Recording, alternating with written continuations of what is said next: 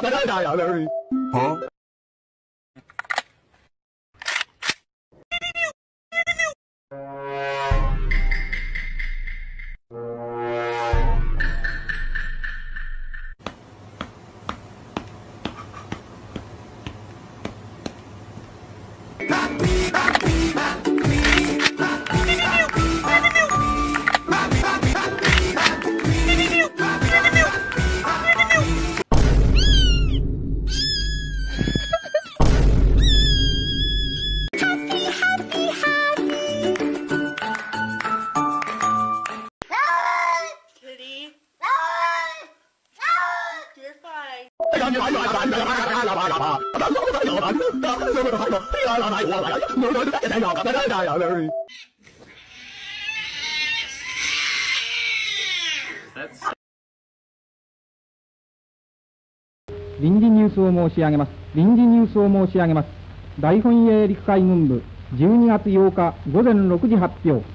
帝国陸海軍は本8日未明、西太平洋においてアメリカ・イギリス軍と戦闘状態に入れり帝国陸海軍は本8日未明西太平洋においてアメリカ・イギリス軍と戦闘状態に入れり「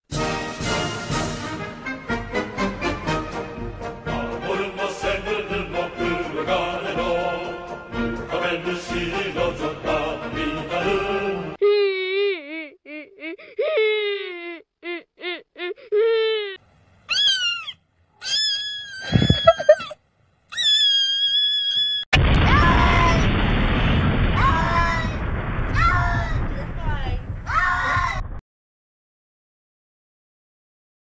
信帝国政府を応じて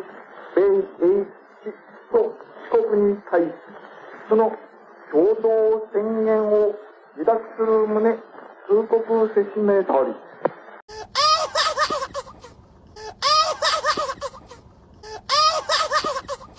どうぞどうぞどうぞ。